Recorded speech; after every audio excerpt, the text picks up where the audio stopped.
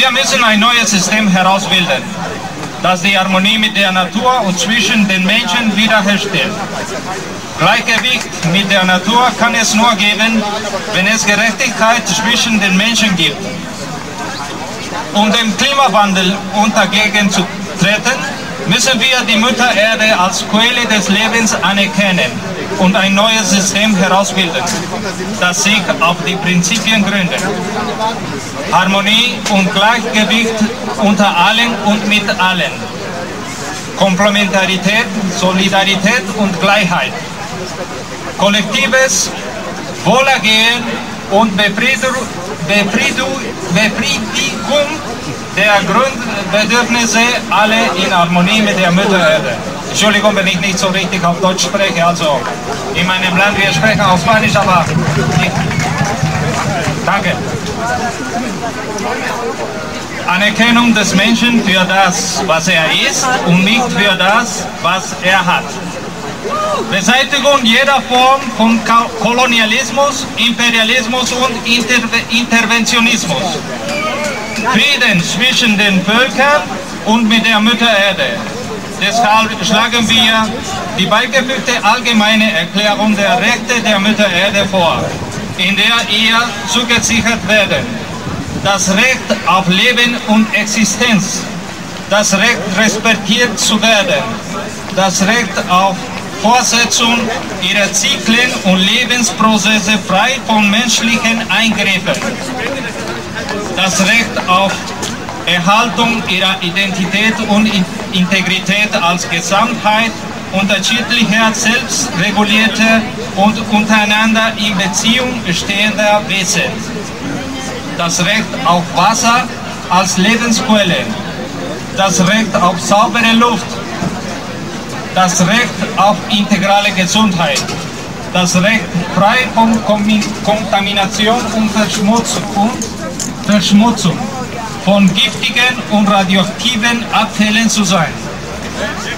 Die übereinstimmende Vorstellung ist, die Konzentration von Treibhausgasen zu stabilisieren, um den Artikel 2 der Rahmenübereinkunft der Vereinten Nationen über Klimaveränderungen zur Anwendung zu bringen, der die Stabilisierung der Treibhausgaskonzentrationen in der Atmosphäre auf einem Niveau, auf dem eine gefährliche anthropogene Störung des Klimasystems verhindert wird, verstehen.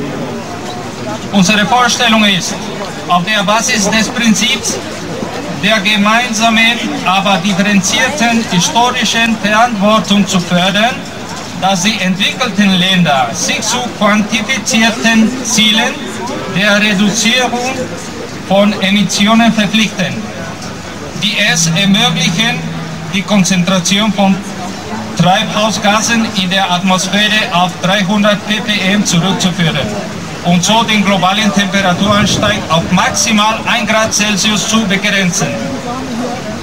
Der Kohlenstoffhandel hat sich in ein lukratives Geschäft verwandelt. Er vermarktet unsere, unsere Mutter Erde. Er stellt keine Alternative dar, um den Klimawandel zu, da, die, da er die Erde, das Wasser und sogar das Leben selbst ausplündert und verwüstet. Die Zukunft der Menschheit ist in Gefahr. Und wir können nicht akzeptieren, dass eine Gruppe von regierende entwickelter Länder für alle Länder entscheiden wollen, so wie es erfolglos auf der Konferenz der Teilnehmerstaaten in Kopenhagen versucht haben. Diese Entscheidung kommt uns alle Völker zu. Um unser internationales Auftreten zu koordinieren und die Zielstellungen dieses Abkommens der Völker umzusetzen, rufen wir dazu auf, eine Weltbewegung der Völker für die Mutter Erde aufzubauen. die sich auf die Prinzipien der Komplementarität und der Achtung der Verschiedenartigkeit des Ursprungs und der Sichtweisen ihrer Mitglieder stützen soll und sich als ein weiter und demokratischer Raum der Koordinierung und Verbindung von Aktionen auf Weltebene konstituiert. Vielen Dank für Ihre Zeit.